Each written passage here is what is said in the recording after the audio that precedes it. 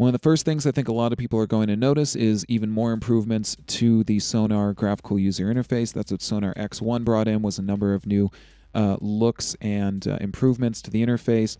The Sonar interface, of course, is called the Skylight interface, and that's because the uh, purpose behind it is to give you more room uh, on your screen and uh, give you more light essentially. So, one of the things I think a lot of people are going to notice is going to be the screen set feature. I've got this menu right here, and if I click on that, I can select a number of different screen sets that I can make use of in my project. Each of these screen sets is going to give me uh, a different way of speeding up my workflow as I work in my production. So I can use all of these numbers up here in the top menu, and I can also use the pull down menu.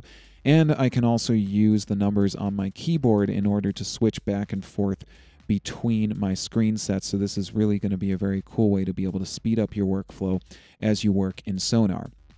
Other improvements to the graphical user interface include the browser being uh, much improved, allowing you to search very easily the media that you would like to make uh, use of in your project, and uh, giving you a search box to be able to also search your plugins, your MIDI effects, your audio effects, and so on. So in this case, I want to find the RMix Sonar plugin. I'm just going to type mix.